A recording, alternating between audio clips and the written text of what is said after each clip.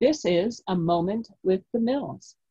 Yesterday we began Psalm 39 and we saw that David tried to contain himself from speaking in the presence of the wicked.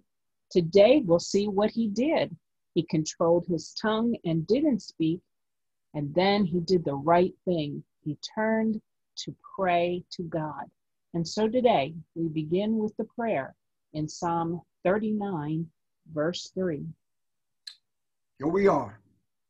My heart was hot within me while I was musing, the fire burned.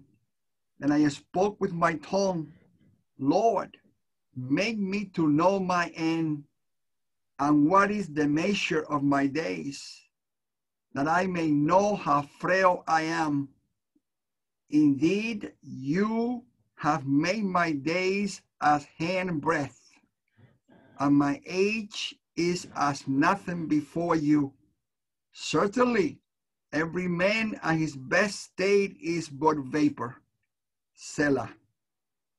Surely every man walks about like a shadow. Surely they busy themselves in vain, the heaps of riches, of riches, and does not know who will gather them.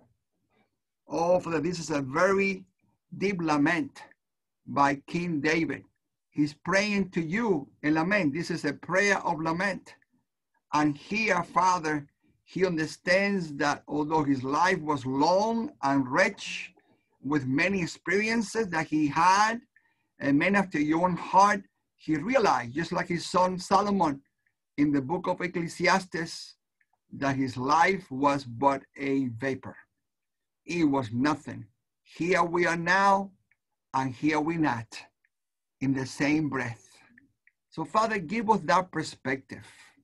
Give us that perspective that our pride will not get on the way, but that we will be able to respond in those difficult times in prayer, that we will not be proud, that we will not take things upon our own hands, that we will not respond through our own feelings or pray to self because self is our worst enemy.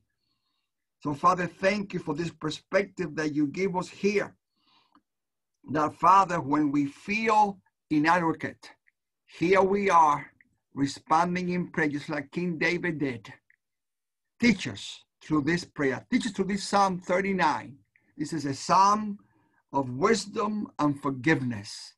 Forgive us, Father, for not coming to you. Forgive us for treating you so many times like a paramedic you are not a paramedic. You are a good father. And we want to have an intimate relationship with you. Help us, Holy Spirit, to have it intimate, just like Jesus has it with the Father. We pray for the church in America and our RTO family. In Jesus' name, through the power of the Spirit. Amen. Hallelujah.